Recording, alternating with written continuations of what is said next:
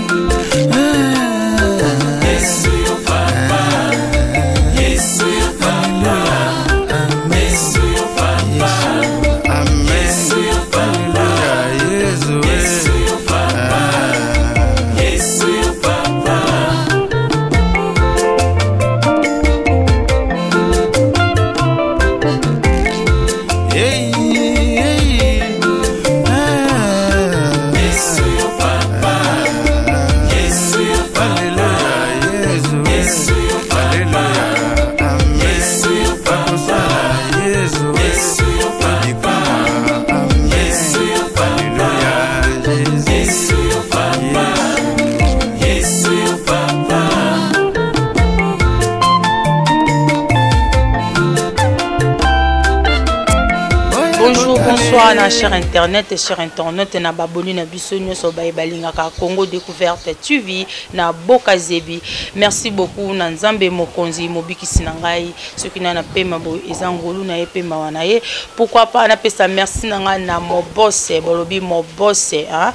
Mama Mado Boka Zebi Congo Decouverte motema ya papa Justin Boka Zebi engambe ya basakata Voilà, na pesi merci na nga na équipe mobimba ya Congo découverte na Boka Zebi wana nazo mona mon cordon JC Bessisa Muketonga ayaya ya bakisele lisusu Sisabidi mbwe songe ya mbeli ba beta kali kofite pourquoi pas na mo cameraman Kalolimbaka papa na Justino baobi papa senga kaza toujours pene pene ya mama motema ya mama Esther là où tu es ba gros bisous à toi pourquoi pas na pesa mbote na nga na mon grand frère propre babi bourgeon kwesu aigle babi bosa mwana moke ah, babi espace eza kaka moko soza na place ya omela voilà toza wana na lemba super face à cornet city omona salo le bourgeon soza mposa bacoiffure ya bien bateinture ya bien mon grand frère est là pourquoi pas na mbote na ngai na grand tian na ngai momama tala espace oyo apesi biso Voilà, grande sœur maman Kweso Bobby, là où tu es, bah gros bisous à toi. Na pesi mbote na nga na bana na nga nyonso,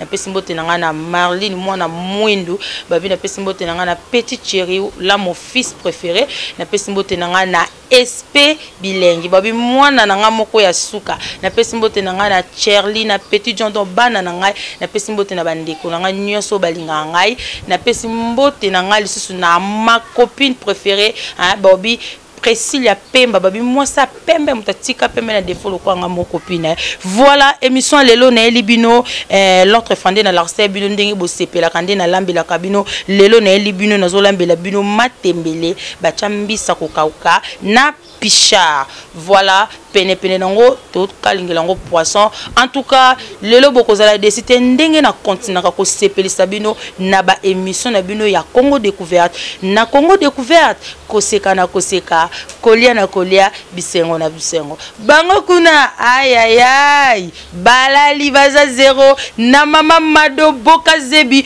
nyoka ya Moïse mobose balobi motema ya papa juste boka zebi talaka nde tozali so bango te biso toza te kuna zero kalo limbaka toleka voilà lelo nazolamba matembele na ngai na mbisi ya kokauka na picha nango banano na kotokisa mbisi na nga natyango na moto mombusu na nzongo nazotokisa mbisi ekipaka te oza na don façon nyonso oyo olingi osangisa mbisi so olingi ngolo olingi o mpoka o nini do ya kokauka osangisi na naobanda siko kokata matembele ana tanda mbisi na nga ezotoka na moto a naokata matembele na nga voilà omwa nde naokata yango ya donc eza ka oblige ezala te kaka te o mike mike donc okokata yango na bafaçon moko boye ezala un peu bien efacilite yo mpo ekweya potopoto te donc fo kokata yango mpenza okati yango Pourquoi tu olia on a loso?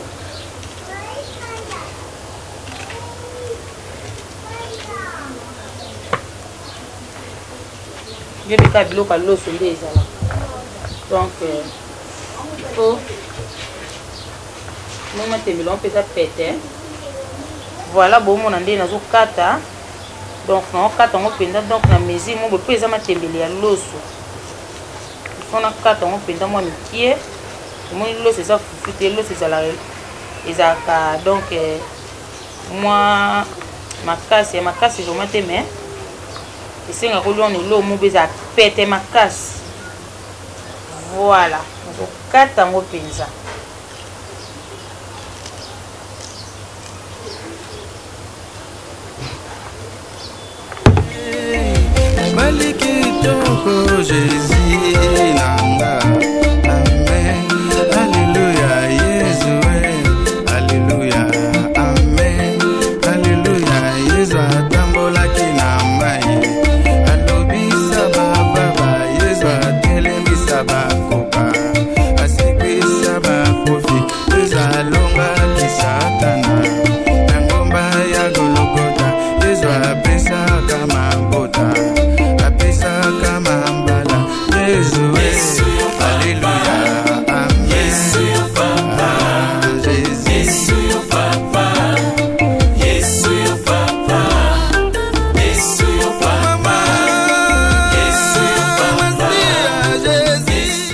moni matembele ebongaka mpenza mpo koluka matembele ya pete eza te oluka matembele ya mwindu oyo esalaka supu mwindu te fo oluka matembele okobengaka matembele ya seleri voilà bomoni nde natie na moto naosa sikoyo mai bomoni natie na nzungu pardon nazwi mai natie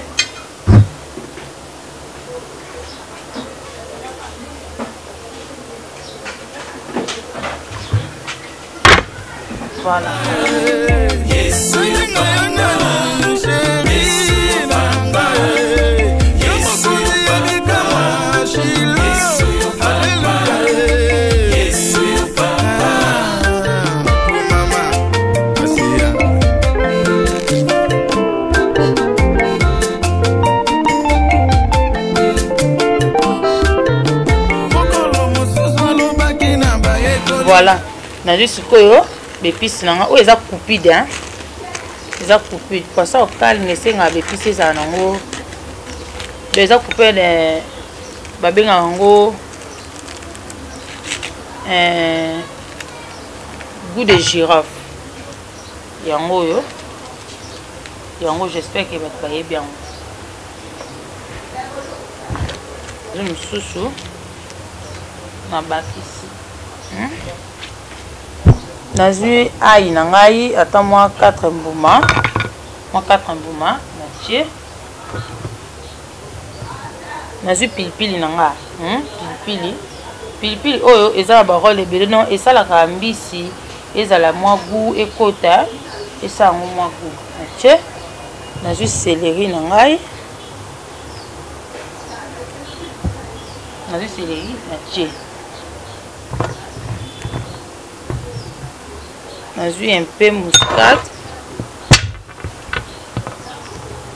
nazwi mwa mungwa na nga mokie mungwa mingi te eh. nazwi mwa mungwa na nga mokie nasali natie nabandi sikoyo koepile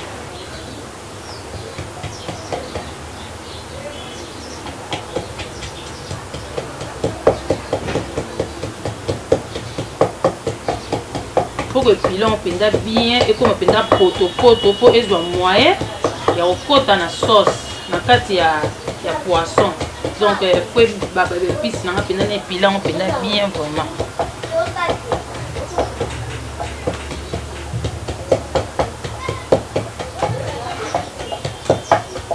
nga na tanda matembele na nga ezotoka na moto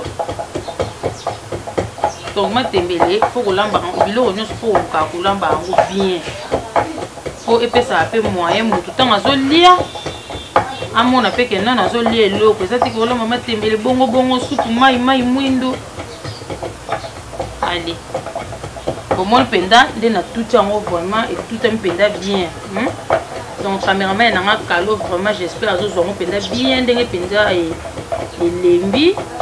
na epile yango mpenza bien donc fo kozwaka temps bato mosusu baepilaka bipisa pile yango e, e, aye ezomonana monana non mpo koepila yango mpenza epilami potopoto mpo ezwa moyen ekɔta na biloko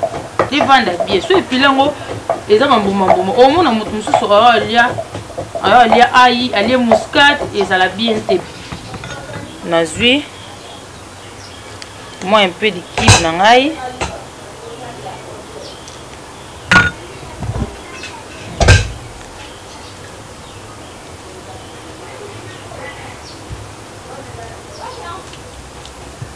naotya mingi te mpo esi natyaki mungu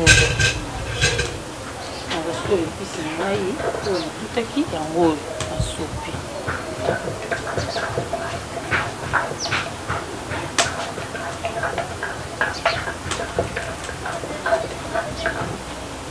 mwana chebe nabandi sikoyo kosala nini kobalo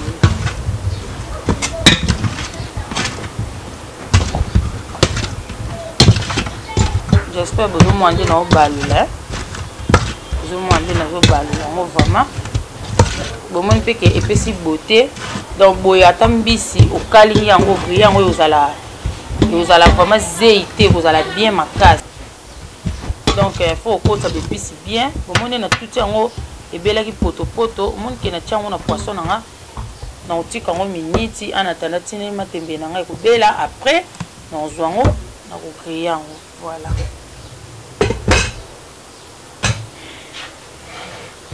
koma matembela na ngai ndenge nazo eh, ezotoka donc rechaud na ngai esalaka donc eh, rapide vraiment omoni nde ezotuka voilà nazwa ndembi na nga nazokata yango mpo natya na liboka na epilango donc eh, ndembi bido matembele nga nalambaka nazwi matembele na tuta ya bepise mpo eza legume legume ebongaka bepise ezala potopoto mpo esangana yango omona nazwa bepise na nga bozomona ai ndembi poivon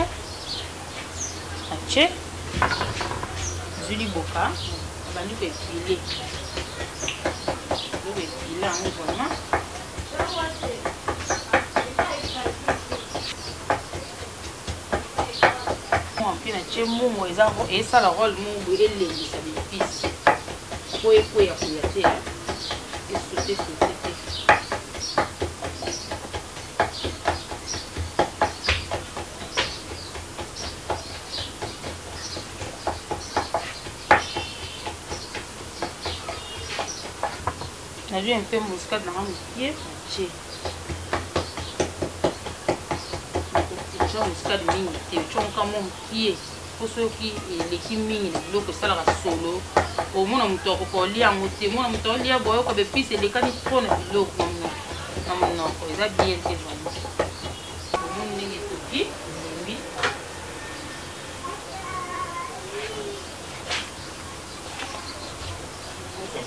naobwaka mai kobwaka mai oyo eza mabe te eza bien mpo omona basupu mosusu olamba ebimi mwindu okobwaka mai elastique obwaki o vita bato sola obwaki vitamine non vitamine na biloko esilaka te voilà nazwi yango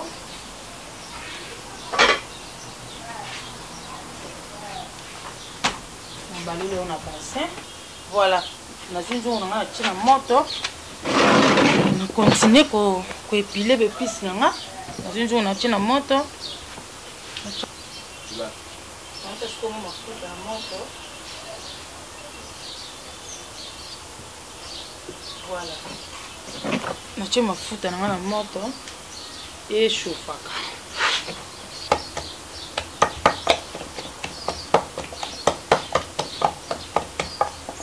donc eh, monde elembisi bepice na nde na otuta elembisi yango vraiment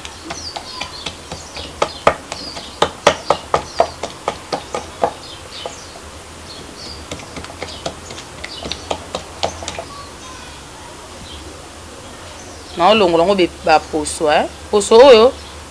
ezalaka bien mpona kolongola yango bato mosusu balobaka o oh non poso vitamine esila non mpo poso oyo oh, etutamaka mpenza te mwana biloko etelemaka telemaka yango omoni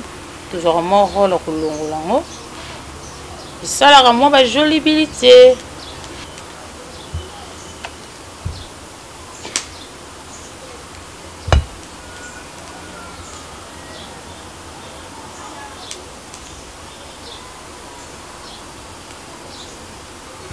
ozomona ndenge na olongola ngo baposo e eh? donc fo kosomba tomate oyo etela mpo efacilitaka na kolongola baposo J'espère que maman Mado Mafuta en direct de Suisse bobi nyoka Moïse aomona mosala oyo mwana azosala mosala moko ya goût ayayaye biloko biso na Congo découverte te bokazebi te bozwa mosuwa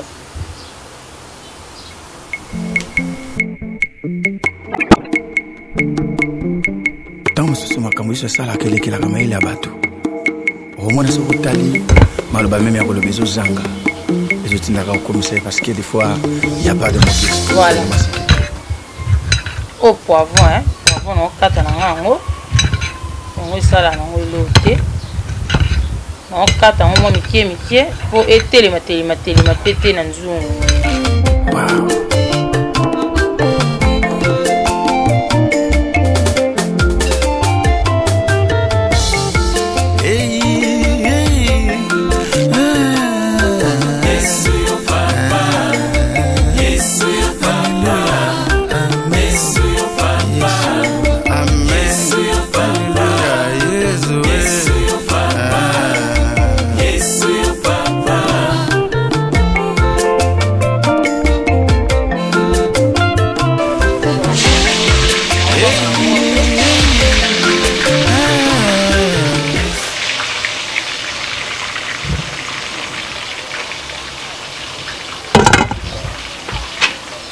nazuki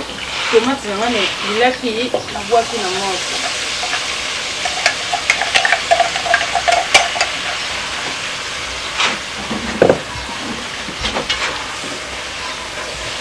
bomoni ntina tye mafuta ebele boye eza matembele ya loso parceke euh,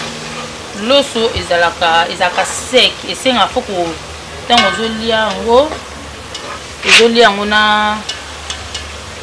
na biloko ezala mwa na supu ezala mwa bien po eza nango fufu te po fufu ata otye supu mafuta mingi te elekaka nango mai loso ezala nango bacaprice nango voilà natiki sikoyo bepise nange ezotoka wana tanda nazwi sikoyo mbisi nanga oyo natokisaki na pase mwa mai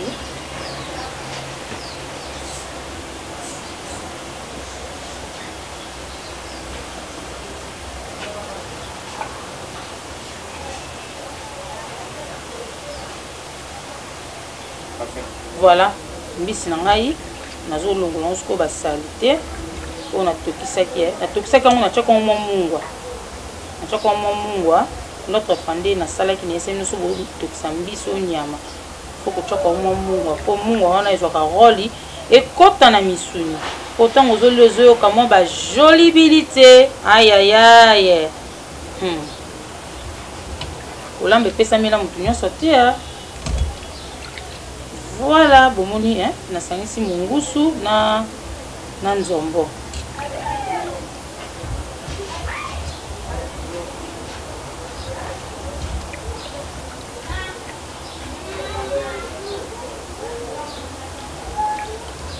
ozopasa yango vraiment mpo mungusu azalaka nde na mokwa kobwaka nzombo pardon azalaka na mokwa kobwaka te mungusu nde azalaka na mwa mikwa mungusu ye azala mwa baposo mpo bekai oyo eswaka na mongongo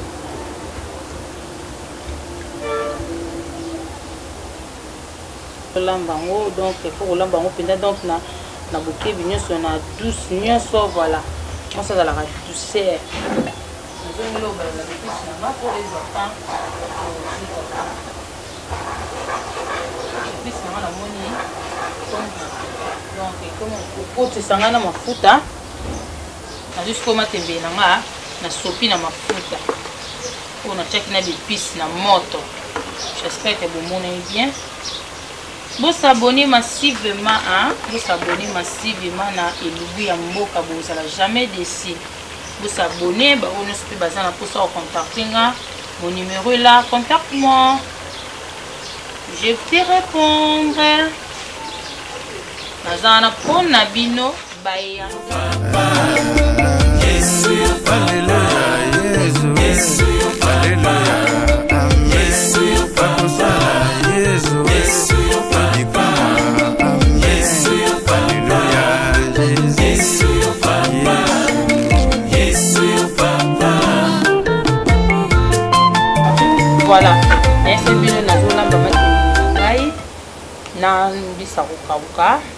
na pichard pichard na ngai yango oyo nazofongola yango sikoyo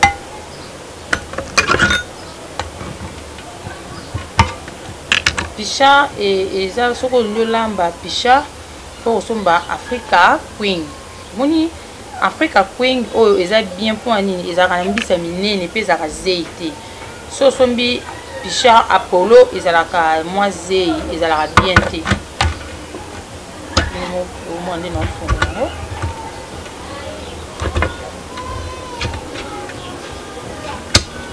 voilà ofongoli juste eh, nazwa supu oyo te po supu oyo ekweisaka mpe biloko ngai nazwaka supu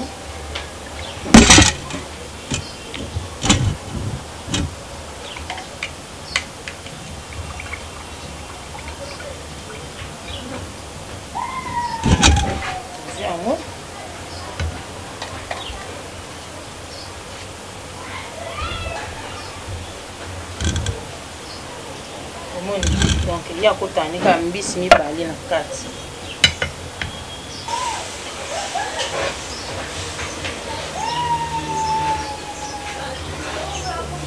voilà nazwi sikoyo mbisi na ngai mbisi ya kokauka na frisha nasangisa mosusu na moto natyango sikoyo natelenga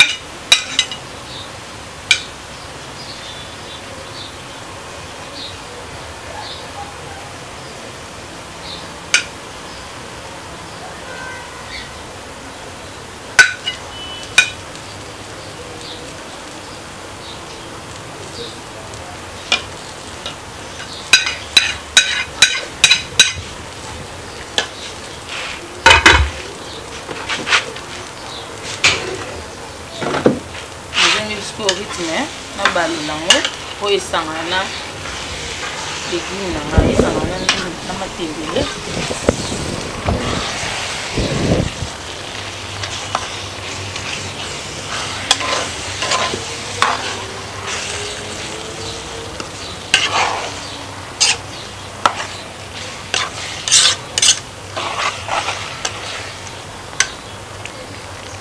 donc lelo matembele batya pisha na mbisa kokauka e ayayay donc euh, na congo découverte kolia na kolia bisengo na bisengo koseka na koseka nzambe voilà euh, namoni yango mwa mafuta eza mwa moke nakozwa mpe ata huile na ngai nakobakisa ça ne dérange pas voilà nazwi mwa mbongo na nga mokie na bwaki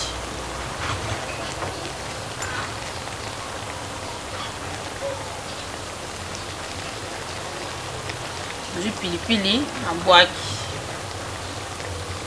oyo alamba alekisaka pilipili eh, nga bevite na nga basengaka nga pilipili voilà nazwi susu mwa elan obabila donc fo euh, kobala yango mpenza mpo ezika te ntango otika boye ekozika soki eziki biloko ezalaka bu te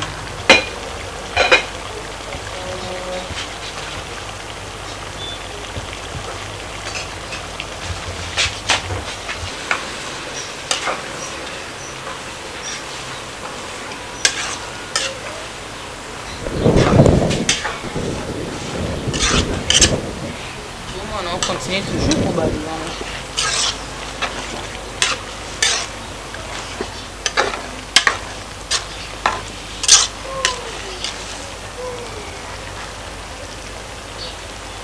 oh matembele ana ah, ba mabaku te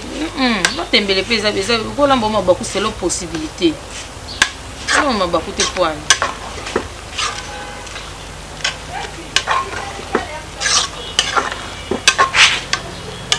koliaka biloko ya fresh koliaka biloko moko ya gout osaka protéine na nzoto voilà yango ozotoka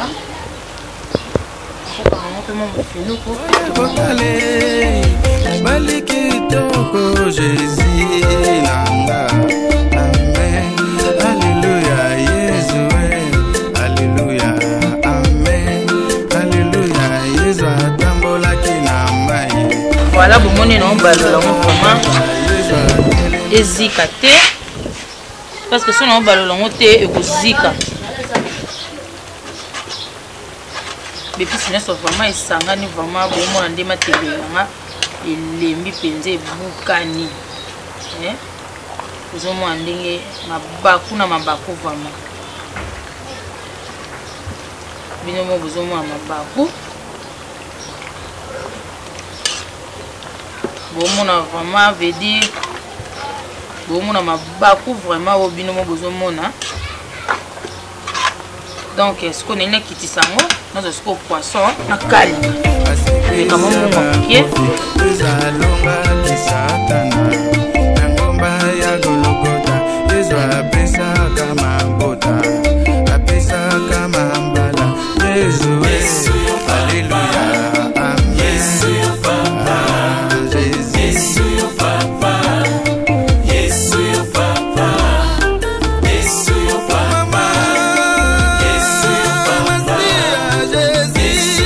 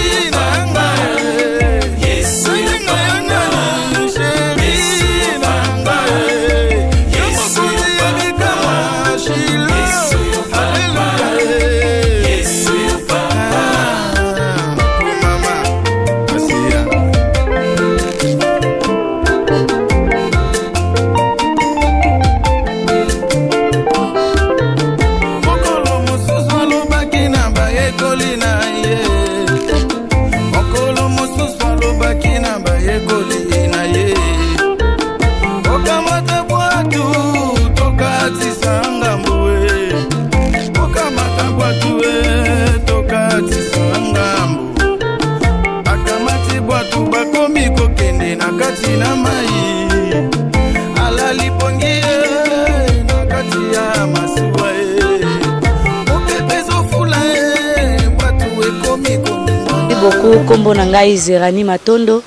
biso tozalaki bainvite na epai ya mama sharufa maintenant lokola biso toza presse toza na makambo ya kosala biso topreferaki kolia elubu oyo na fufu préfère kolia matembele oyo na fufu en tout cas sino te alambi biloko mpenza kitoko makasi kitoko makasi mpenza bamama soki oza na mposa oyekola kolamba matembele oyo penza anti formol oyo en tout cas eza malamu makasi mingi merci beaucoup tu as bien préparé ça bébé la mama nkweso grand sœur ya sharufa en tout cas bilei oyo sharufa alambi lelo nasepeli nango makasi nasepeli na matembele pichard mbisa kokauka ata nga moko kutu nayebaka ndenge elambeli ya boye te nalamba ya boye te mais sharufa petit sere na ngai moko propre alambi kitoko makasi alambi kitoko soki oza na besoin oyekola kolamba okoki obenga sharufa na limero na ye olamba kitoko makasi oyekola makasi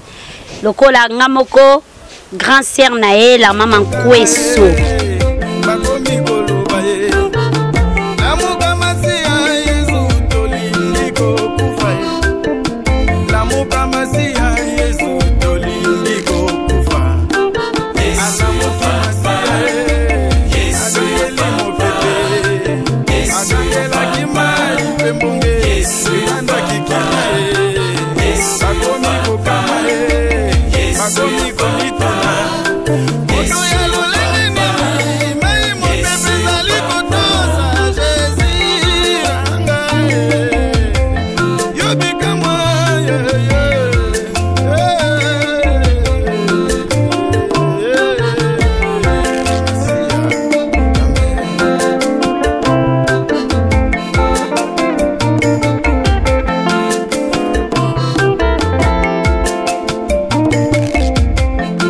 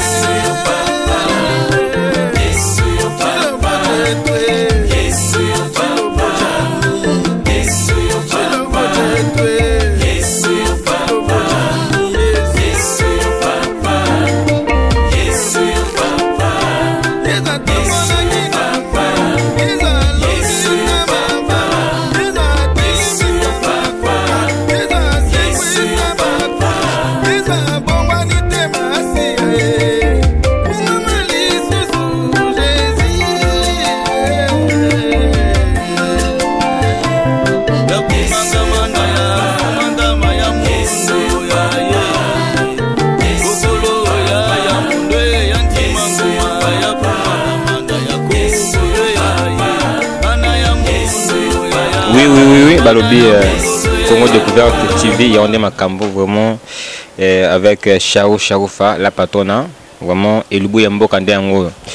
so bomoni lelo na bimi parce que ngai nazanga moto ya nsima moto ya caméra veut dire que nalie elubu esalama salama yango mpaka lelo nalie c'est à dire que nalie nalie mpenza eh, matembele oyo oh, bakomba matembele matembele mpenza na piodi na loso vraiment na se retrouver nakanisi hein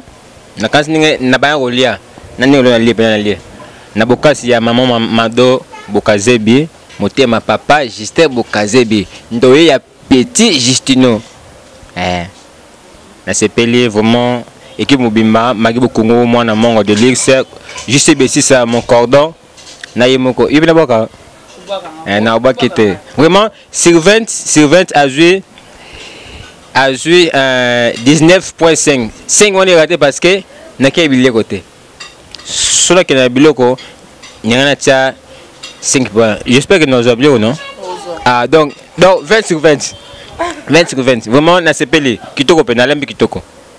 kitoko pena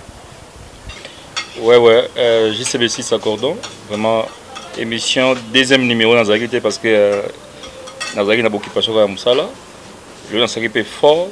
nayaki mwa retard parce que nabimaki mpe kaka mambo ya mosala me naye kolia matembele parce que ngai ezalaka plan na ngai préféré matembele donc matembele ya boye olia yango na elambeli ya boye eza kaka epa motu moko dans charo frankueso bino bato boza libanda oyo bobotala biso bocomprendre te barepas ya charofa parce que bomonaka komona na miso mais bozokute te parce que boza mosika mais rien apeshi mpo oza na poto obenge nimero na ya whatsapp appel video epuis akoki mpe kolakisa yo black kapa nazoyebisa yo Asala na ba place ya minene na ba restaurant na ba restaurant na ba hotel ya ba 5 étoiles oyo ezalaka dépassé na ye donc kaka na matière ya cuisine c'est-à-dire bato bayebi ye na baoyo bavoyagea bayebi ye baoyo baleka leka na bisika asala baoconfine bino c'est-à-dire oyebi mpe na kinshasa olingi ogoute loboko nimero nde ezala na bobenge bosololi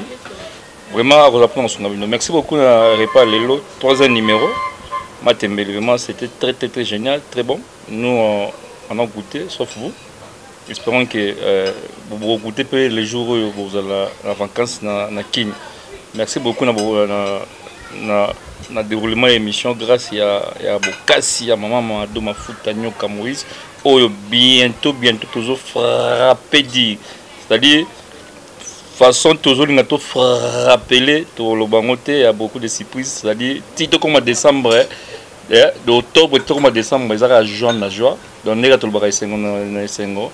eh, koseka na koseka donc tofrappe todi quand tobaka tofrappaka ya biso ezalaka mafrappe merci beaucoup na babone oyo bozo continue toujours kosabone na congo découverte tv s'il vous plaît bosabone bopartage bo 6 mois ya pamba déjà tokomi na ba 2040 abonne eza mokie eza ambition na biso te notre ambition ezalaki notre chaîne ekoma monene ekoma ata na ba 100 000 abonné na 2 ans c'est-à-dire eza possible soki bino bopesi biso confiance bopesa biso confiance eza par rapport ya travail oyo biso tozali koofrir na bino c'est-à-dire biso mpe euh, na équipe euh, kobanda limolo 1 na mama papa nga moko cordon euh, magi bokongo sharufa kalo yango moi mwa tocree mwa ba, ba ba divergence ebele donc na chaîne euh, totie mwa biloko ebele parce que e, edifie bino euh, bino bato kolandaka biso elubu ya mboka ezali euh, bagage ezali chaîne eza base na découverte c'est-à-dire bino bato botalaka découverte vraiment pardon so bomoni lubu botala mpe lubu kande botala bino tomonaka botalaka découverte so bomoni sujet du jour botala mpe kaka sujet du jour nde bomonaka bino bato botalaka découverte so bomoni gag botala gag soki bomoni théâtre botala théâtre soki bomoni bomoni ba rubrique ya ba ya ba information mboka nde nde na tsaka tsaka wana au discours à présent de la publique il faut tala parce que eza mboka na biso faut boye ba ndenge nini yango ezo évoluer donc c'est à dire biloko nyonso bomona totya na la chaîne s'il vous plaît botala ngaka ndenge botala euh, émission découverte et puis esuka bongo te bomakisa biso odima te mata c'est à dire tokoma likolo selon suye na biso parce que euh, c'est notre travail pour vous servez merci encore na bino babonne grâce na bino biso tozo existe soki bino bobi kena bo desa bo se désabonner c'est-à-dire biso pe tozinda merci beaucoup euh, ferme bokaze biza toujours à vente 50 hectares ezotekama c'est-à-dire 500 dollars un hectare eza na inongo euh, na masiya c'est-à-dire province ya inongo ntango badécentralise eh, bandundu nde inongo ekoma province mais avant décentralisation nyonso tout ezalaki na province ya bandundu bato bayebi ndongo bayebi ndongo très bien na nzela mai donc ferme bokazebe eza na fleuve bape na mposa basala libongo fleuve eza oza na mposa basala ferme nini nini eza loka papa auto koya kinshasa bakoni plus de 1000 plantes aoya na 2022 na récolte biso équipe mobimba tokende récolte biloko oyo bakoni bomona kaka ntango tokokende korécolte yango topesaka bino biso awa nde c'est du travail et puis tout et puis ferme et puis euh, ferme et puis euh, euh, kimpoko e eza toujours à vente 20 20 3500 dollars à débattre kaka nde yembisaka bino bakosa bino te maluku mpe baetare ezali mpo na kosala bilanga mpo na kosala baferme un état na 600 dollars merci beaucoup Kalo limbaka pour na disponibilité ya temps toujours na boulot. Merci vraiment na Sharufa Mkwesu mwasi ya, ya, ya, ya makasi eh, donc mwasi oyo aza, aza, aza na bacritère ebele eh, bino, bino, bino bato nanu bozwi basi bacritère bote bosambela na nzambe apesa, apesa bino yango Donc, point d'interrogation, Sharouf Azwa, toi Azwa, point d'interrogation. Merci. Suivre. voilà émission na bino bolingaka elubu ya mboka balobi abonnez-vous massivement ya liboke bosabone na congo découverte bosabone na bokazebi bokozala jamais desi bomonaki ndenge na bandaki kolamba na présentaki bino biloko na ngai nalobi lelo nalambelaki bino matembele bacha mm, nzombo na mbisa kokauka mungusu na pisha pene na yango nakalingaki mwa poisson na ngai mpo bainvite na ngai esala lisusu mwa gu makasi balobi ah, kolamba epesamela motu nyonso te voilà on est là vanda toza wana biso nyonso na congo découverte balobi napesi mbote na ngai na Equipe mobima ya Congo Decouverte na Bokazebi pourquoi pas na pesa mbote na nga na notre cordo Bobby cordo oyo azosala Shaggy Shofa la patronne hein po azala boye na pesi mbote na nga lisusu ya mingi lisusu na Kalo Limbaka Bobby Kalo Limbaka Fachi ya Babeton papa na Justino motema ya mama Esther pourquoi pas na Magi Bokungu mongo de luxe bobi bala mongo yoka elengi napesi mbote na ngai na notre patro bobi mobose mama mado bokazebi